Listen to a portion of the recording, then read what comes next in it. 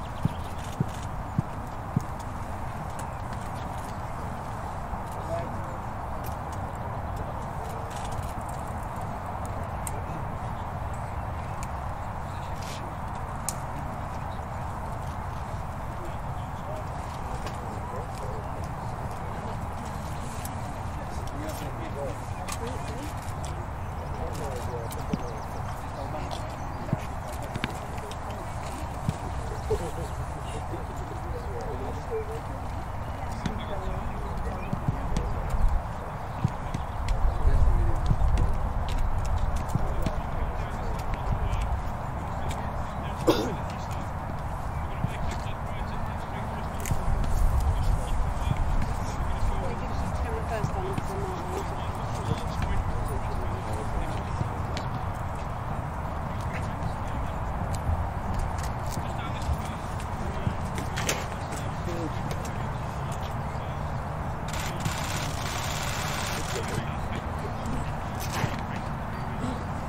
Good news team, point no fresh injury concerns. All of the unused substitutes available and training here this morning. Gareth Southgate will come critically for not bringing on more substitutes to get the win over Scotland. He did admit that he will take all the criticism which would go on the shoulders of his players, but it was a unique frustration playing their old enemy and domestic rival Scotland. So,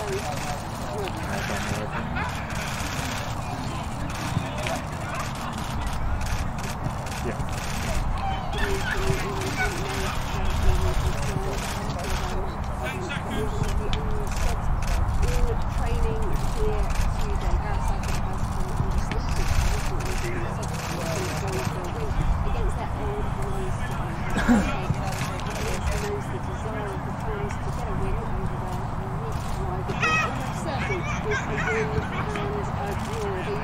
Scenarios and you wonder what Gareth Southgate will want to go for if they do actually go up against the world champions. France from second, they could right now, and this could all case come up against Spain. From third, as the highest runner-up, up against either the Netherlands or Belgium. That's as of today. But the key and the Gareth Southgate is this is a group stage. He wasn't willing to go all out and lose that vital one point, in the position they are in right now. It reminds me of the time of the uh, end of the group stage where England had lost to Belgium, and in fact that I think would set. Will do.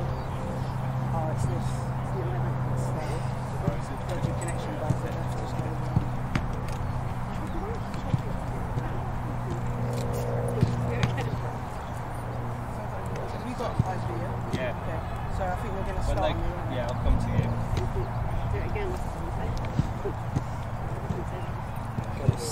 Southgate. I said Jack Wilshere, that's He's okay. right over there. I think they were just talking to each other.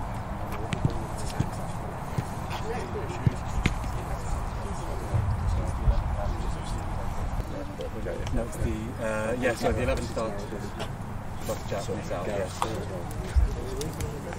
Darren was trying. Lovely, ready. You're going to Southgate first. Yeah, can you? Go to him, and I'll go to Pike. You step that way. That way. He also had more minutes than Marcus as well. When the game when it came up, Marcus had You did. Thanks, Rick.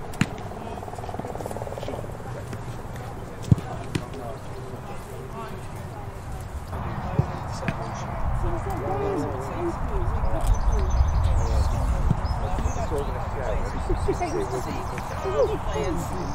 onto, so um, players are there today.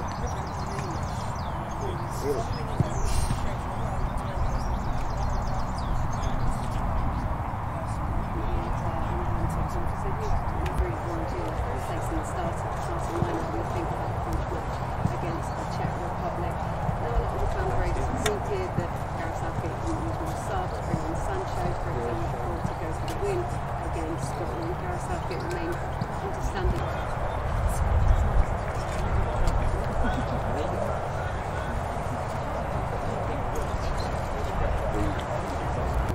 unfortunately in this match. I think fans would perhaps have liked to have seen a bit more attacking prowess, particularly on that left-hand side where England is so flush uh, for for players. Uh, the players Saka, another player, another attacking option that England could have turned to, but. And I think these are all questions that Southgate would have to consider, decisions that he will have to make ahead of this game against uh, the Czech Republic. And I think it is important to give some perspective to this England performance. It, it, it wasn't great, but it wasn't a. It's still a point on the board, as many of the players have posted on their social medias today. They've,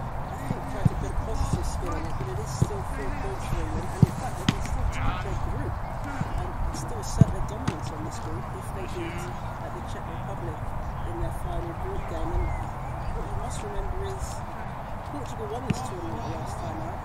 They didn't win a single group game. So I think uh, there's no need quite yet uh, for a national meltdown, perhaps. And I think Gareth Southgate was uh, keen to stress that point.